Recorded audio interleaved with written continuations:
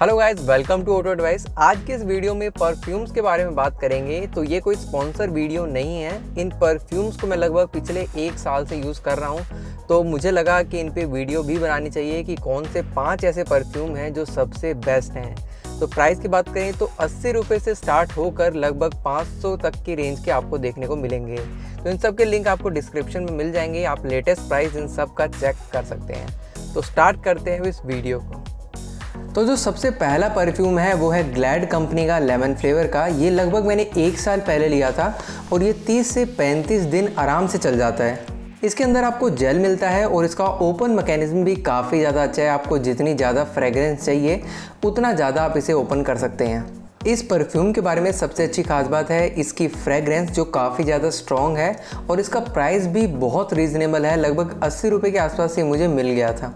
और एक बात मुझे इसके बारे में अच्छी नहीं लगी है, वो है इसका कलर काफ़ी ब्राइट कलर में आता है और काफ़ी अटपटा लगता है आपकी कार के डैशबोर्ड पे। अगर इसका कलर ब्लैक, सिल्वर या गोल्डन होता तो फिर भी ये कार के डैशबोर्ड में अच्छा लगता, बट इतना ब्राइट कलर अच्छा नहीं लगता। तो मैं तो इसे गाड़ी में छुपा के रखता हूँ, जहाँ से इसकी फ्रेगरेंस भी आती रहे और ये किसी को दिखाई भी ना दे। इसके बाद मैंने परचेज़ किया था इन्वॉल्व का, मस्क फ्लेवर का। एक बात जो इस परफ्यूम के बारे में सबसे अच्छी है, वो है इसकी फ्रेगरेंस इससे बढ़िया फ्रेगरेंस मैंने आज तक किसी भी कार परफ्यूम में नहीं देखी। हालाँकि जो इसके बारे में बुरी बात है सेम वही। देखने में इतना अच्छा नहीं लगता। डैशबोर्ड पे काफ़ी चीप फील होता है। इसके बाद आता है एयर प्रो कंपनी का माइक वाला परफ्यूम ये लगभग आपने बहुत सी गाड़ियों में लगा हुआ देखा होगा। इसकी फ्रेग्रेंस काफ़ी ज़्यादा अच्छी है और इसका लुक भी काफ़ी अमेजिंग है। ये लगभग आपको 500 के प्राइस रेंज में मिल जाएगा। अगर आप इसे ओपन करेंगे तो इसके अंदर आपको इस तरह का एक प्लास्टिक का टुकड़ा मिलेगा, जहाँ पर इसकी फ्रेग्रेंस स्टोर होती है। साथ ही में आपको एक रिफिल पैक भी इसके साथ मिलता है। जब भी आपको लगे कि इसकी फ्रेग्रेंस कम हो गई है, तब आप इसमें रिफिल कर सकते हैं। इसकी सबसे अच्छी बात लगी है कि एक तो देखने में अच्छा है है, काफ़ी लोग मेरी गाड़ी में बैठते हैं तो मुझसे पूछते हैं कि ये किस कंपनी का है, आपने कहाँ से लिया? देखने में काफ़ी अच्छा लगता है फ्रेग्रेंस भी अच्छी है बट इसके बारे में एक बुरी बात भी मैं आपको बता दूँ, इसकी फ्रेग्रेंस काफ़ी जल्दी कम हो जाती है।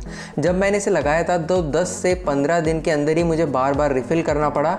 इसकी, क्योंकि इसमें कोई लॉक मैकेनिज्म नहीं है, इस वजह से इसकी फ्रेग्रेंस काफ़ी जल्दी ख़त्म हो जाती है। इसके बाद मैंने परचेज़ किया था एयर प्रो का स्पेयर जिसके अंदर जेल आता है, और इसमें आपको कंप्लीट लॉक मैकेनिज्म मिल जाएगा। जब आप काड़े को यूज़ नहीं करते तो आप इसे लॉक करके भी रख सकते हैं, जिससे जो जेल है वो स्टोर रहेगा और ज़्यादा लंबे समय तक चलेगा। ये लगभग मुझे तीन सौ के आसपास पड़ा था। डिस्क्रिप्शन में लिंक है, सभी का आप चेक कर सकते हैं, जिसका भी आपको प्राइस चेक करना हो। तो लुक में मुझे ये वाला सबसे ज़्यादा प्रीमियम लगा है। देखने में काफ़ी ज़्यादा अमेजिंग लगता है ये। ये भी लगभग एक महीने के आसपास चल जाता है और इसमें आपको लग्जरी फ्रेग्रेंस देखने को मिलेगी। इसके बाद मैंने परचेज किया था वर्टसेस कंपनी का एयर एसी वेंट में लगने वाला ये परफ्यूम देखने में तो बहुत छोटा है बट इसकी फ्रेग्रेंस काफ़ी ज़्यादा अच्छी है। यहाँ पर इसमें आपको मकैनिज्म मिल जाता है, जिससे आप इसके लेवल को कम और ज़्यादा भी कर सकते हैं।